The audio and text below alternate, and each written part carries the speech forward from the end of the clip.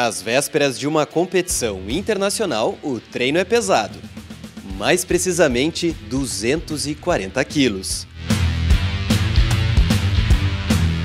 O atleta ele tem que entender que o seu instrumento de trabalho é o corpo, né? Tem que explorar ao máximo, seja nos treinamentos, na alimentação, a parte nutricional também que a gente tem que cuidar. Dribles, gols, lances impressionantes. Tudo isso sem enxergar.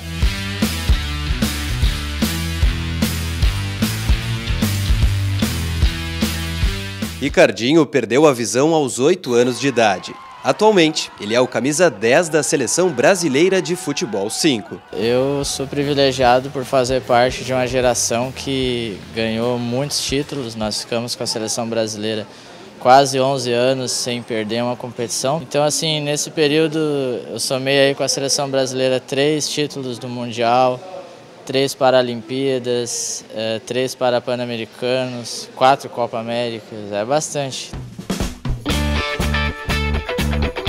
O próximo objetivo é o Parapan-Americano de Lima, no Peru, que começa no dia 23 de agosto. Pronto, 100%. Essa é a delegação que representará o estado na maior competição das Américas. Antes da viagem, Ricardinho e outros 11 atletas do Rio Grande do Sul foram recebidos pelo governador Eduardo Leite no Palácio Piratini. Na cerimônia, dois anúncios importantes. Um é a realização do Paracergues em setembro. A competição dará vaga para as Paralimpíadas Escolares, que acontecerá em São Paulo. A outra boa notícia é o Fundo Estadual do Esporte, o edital, que será lançado em breve, irá beneficiar 24 projetos esportivos aqui no estado, 12 destinados ao paradesporto. O edital do fundo nós separamos para pessoas é, físicas apresentar. Então, é, um cadeirante ele joga basquete de cadeira de rodas. Ele quer um projeto lá para poder ter a cadeira adequada para competição, é, ter bolas para treinamento, enfim, ele pode entrar daí no, no edital, né?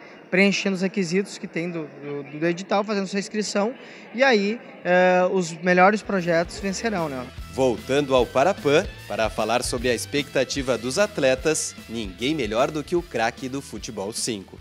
Faremos o nosso melhor e antes de nós sermos brasileiros, é, nós somos gaúchos e vamos carregar essa bandeira do nosso estado com muito amor, com carinho e dedicação para trazer grandes resultados para nossa casa aqui.